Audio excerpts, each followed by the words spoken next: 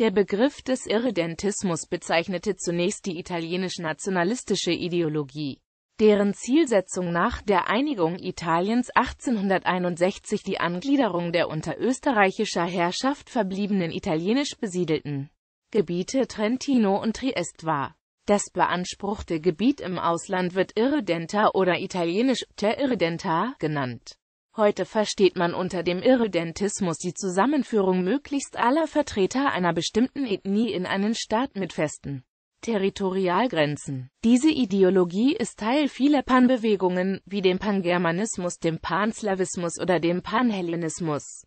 Im historischen Sinne bezeichnet der Begriff den italienischen Irredentismus, der selbst eine Panbewegung darstellt. Man spricht auch von Panitalianismus.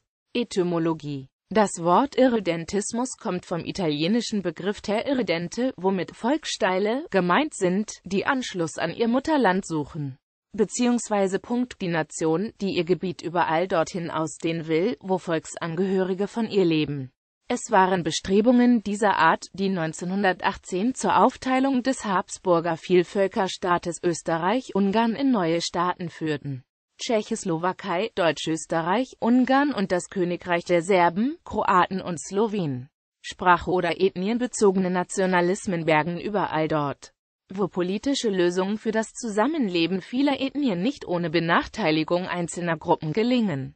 Die Gefahr von Territorialkonflikten, so zum Beispiel innerstaatlich bezüglich der Grenzen zwischen Kantonen oder Banaten, aber auch zwischen großen Staaten, Geschichte nach der nationalstaatlichen Einigung Italiens mit der neuen Hauptstadt Rom 1871 unter König Viktor Emanuel II. waren Gebiete mit italienischsprachiger Bevölkerung unter der Herrschaft der österreich-ungarischen Monarchie verblieben. 1878 gründete sich in Italien der Bund Italia Irredenta, dessen Hauptziele die Angliederung unerlöster italienischer Volkstumsgebiete an Italien war Hauptgebiete waren Südtirol und Istrien, auf die Italien im Frieden von Wien verzichtet hatte, außerdem Dalmatien.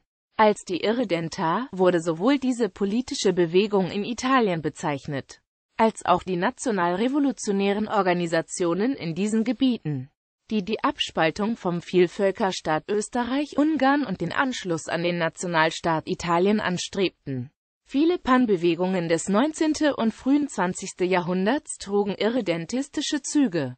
So strebten die Pan-Bulgaristen die Errichtung eines Großbulgarien an. Die Idee wurde 1878 durch den Frieden von San Stefano verwirklicht. Die modernen Panhellenisten strebten ein Großgriechenland an.